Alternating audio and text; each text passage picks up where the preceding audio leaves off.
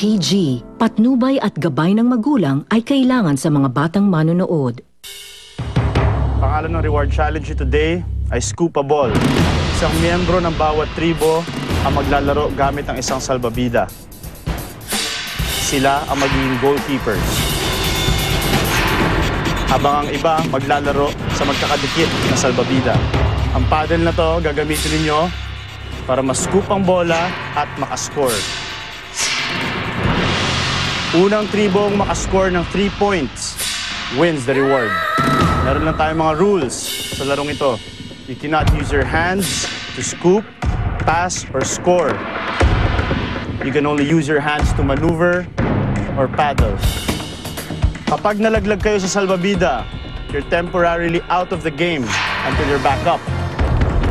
Unang tribong makascore ng 3 points wins the reward. Gusto niyo malaman kung anong pinaglalabanan niyo? Yes. Oh! Peppers, oh it. Meron kayong spices at sausawan. Meron kayong dalawang malaking lapu-lapu, Yes. Oh! fishing gear, fishing net, goggles, and snorkeling gear. Yes.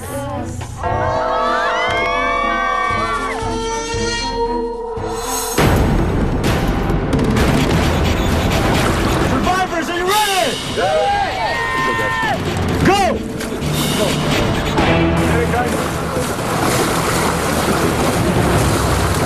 Ang nakanyang paddle na, si John tumayo sa kanyang salbabida para mag-paddle. Si Carlo ginamit ang kamay para mag-paddle. Na kanino kaya pupunta ang bola? Nakakuha ni Arthur ang bola. Arthur aiming for the goal. Binablock na yun ng bulan. Tumayo si Arthur. Tumayo rin. Si Arthur na-block. Ang bola napunta kay Carlo. Agaw! Isabel, can they score this goal? We shall see. He's going for it.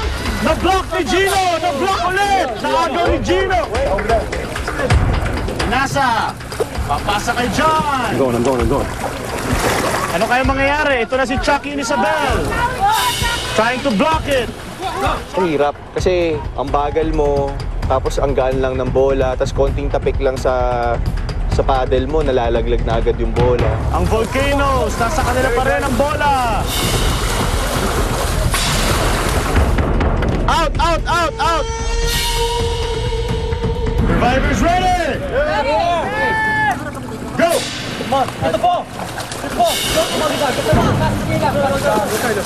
Maribel and Mara, pinakamalapit sa bola ngayon. Arthur and Carlo making their way. Carlo has the ball. Gino trying to block. Nahulog ang bola ulit. Kanino kaya pupunta ang bola?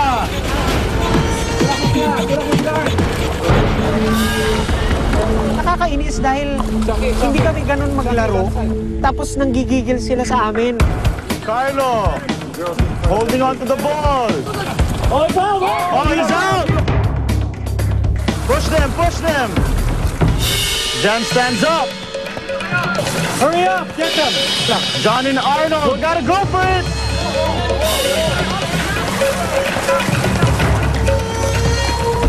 John recovers the ball. Smashes Chucky's spotted. Very aggressive ang Volcanoes. Sobra. Nakikita ko yung mga mata nila, nanggigigil sila eh. Ah, hindi ko lang kung competitive o talagang nag-iba yung mukha nila nung, nag- nung competition eh. Si John ba yun? Hinahampas yung sagwan ko. Tapos sa sobrang lakas, eh, ang lapit ng kamay ko sa, sa dulo ng ano eh, ng sagwan. Pagpalo niya, nabasag yung sagwan ko. Nabali talaga. Sobrang bali na natakot talaga ako kasi ang lapit ng kamay ko eh. Kung kamay ko yun, nabali na yun. Kasi si Isabel tsaka si Chucky, kami yung palaging binabantayan. Eh si Chucky, parang lilikuran ka, tapos tatapikin yung paddle mo para mawala yung bola. Eh, ganun, ganun lang kasi kadali yun para mawala yung bola. Eh, Tatapikin lang, tas ano. Ilang beses na ako nagaganon. Napikon ako. Ang ginawa ko, tinap ko yung paddle niya para mabitawan niya. Hindi not knowing na masisira pala yung paddle. Here we go. He's gonna go for it. You cannot hold on to the other paddle, Chucky. So it's very frustrating na talaga eh. May and Albert! Move out of the way! Si Gino kakaiba yung tactic niya. Yung strategy niya parang, oh, you're not moving, you're on the center. Parang, ano you're not moving? We're moving, we're moving. So, pinapaddle-paddle ko siyang ganun. Move-move ko siya. Here comes Chucky Isabel again. Nasa likod ni Mara at Maribel ang bola. Pinapasa kay Gino. Gino has the ball. Oh! The block ni Filo. Pinasa kay Carlo. Arnold has his paddle race. Chucky! Pinasa kay Chucky ang bola. Chucky Isabel sa gilid.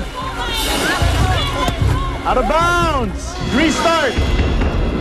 Sa round na to, magabawas kayo ng isang pair per tribe. Sino mag-sit out? Okay, Mara and Maribel. May and Betong, please stay on that corner over there. Survivors ready! Go! Is he going for it? Carlos stands up, aims for the goal. Casey blocks it! Arnold now has the ball! Nahulog ang bola! Ang lapit ni Carlos sa goal! Is he gonna make it? Gino chasing after! Casey blocks it! A fair goalie! Dinasa ni Casey kapos! Nakatayo na ang dalawang volcanoes! Si Chucky naabot ang bola, pinasa! Face to face with Casey! Continue the game!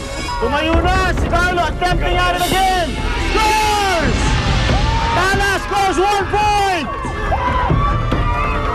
I, I scored the first goal for for our team. So, uh, sobrang saya ko nun dahil ang, pati yung teammates ko napatalon dahil sabi ko we're ahead of these guys.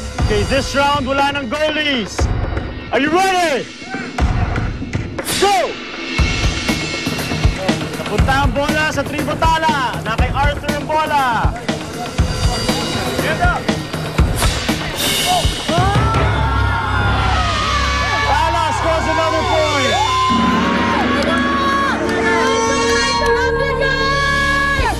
yung nagpalit ng rules, tanggalin yung goalie, nakascore ako. So parang ako parang ano, it's over. Sana lang sa amin na to. Ang galing talaga nila Carlo and Art maglaro ng ano, scuba ball. Bilis nila and they're really cool under pressure. Okay, score is 2-0. One more goal for Tala and they bring home the reward. Nung, nung 2-0 na, tumingin ako kay Arnold, bro, kaya pa kaya to? Sabi ko gano'n kasi pagod na, nasa kanila yung momentum. Survivors ready! Go! Chucky gets the ball. Tumalon si Gino para ma-block. Gino's back on his lap. Bulan always on the defensive side. Nakay Carlo ang bola. Gino tumayo.